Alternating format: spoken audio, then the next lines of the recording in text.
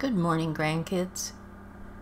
I'm making this vlog to let you know that I'm flying out west to attend my granddaughter's wedding.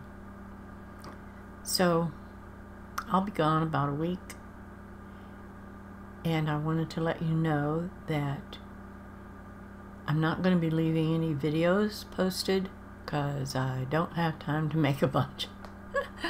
But I have already made the uh, listener vlog for this coming Friday. And when I come back, I will make the last listener vlog for next Friday. It'll be the very last one.